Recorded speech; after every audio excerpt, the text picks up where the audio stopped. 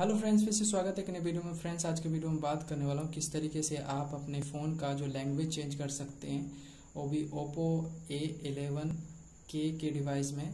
तो चलिए शुरू करते हैं। अगर इस चैनल पर पहली बार आए तो चैनल को लाइक, शेयर एंड सब्सक्राइब करना मत भूलिएगा।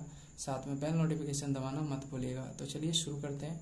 सबसे पहले आपको सेटिंग में जाना होगा। सेटिंग में जाने के बाद आपको थोड़ा सा स्क्रॉल करेंगे तो लैंग्वेज का ऑप्शन दिखेगा। यहाँ पे क्लिक कीजिए। क्लिक करने के बाद आपको इस तरीके का इंटरफेस दिखेगा। उसके बाद यहाँ पे आप देख सकते हैं इंडिया ऑप्शन दिखेगा।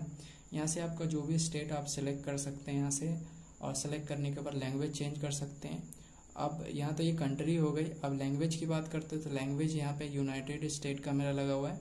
तो आप चाहे तो हिंदी क्लिक करके इस पर सेट कर दीजिए, और यहाँ पे हिंदी चेंज पे क्लिक कर दीजिए। आपका जो भी पासवर्ड है, वो उसको लगा दीजिए।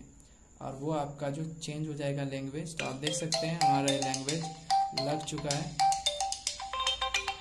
तो अब बात करते हैं। इसको अलार्म बज गया है तो इसको मैं बंद कर देता हूँ। अब यहाँ से हम पैक कर देते हैं। अब हम जाते हैं, आप देख सकते हैं हिंदी में हो गया है। अब फिर से चेंज करना है तो भाषा पे क्लिक कीजिए और यहाँ पे क्षेत्र और नीचे हिंदी लैंग्वेज भाषा पे क्लिक कीजिए।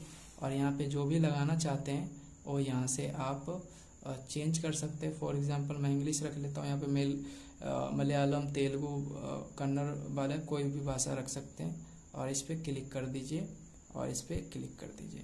फिर से आपको यहाँ पे पासवर्ड डालना है और ये आपका लैंग्वेज चेंज हो जाएगा। अब देखते हैं कि हमारा चेंज हुआ है या नहीं हुआ है।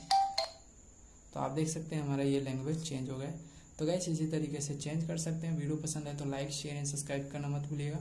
कोई भी सवाल हो, आप मुझे कमेंट कर सकते हैं। और पर्सनली कांटेक्ट करना चाहते हो तो आप इंस्टाग्राम का लिंक डिस्क्रिप्शन में मिल जाएगा, वहाँ से पर्सनली कांटेक्ट कर सकते हैं। मिलते हैं ऐसे इंटरेस्टिंग वीडियो के साथ, तब तक के लिए नमस्कार।